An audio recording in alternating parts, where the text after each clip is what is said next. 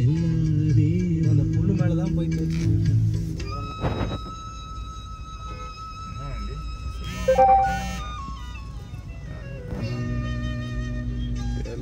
நீ ஏன்டா ஏறின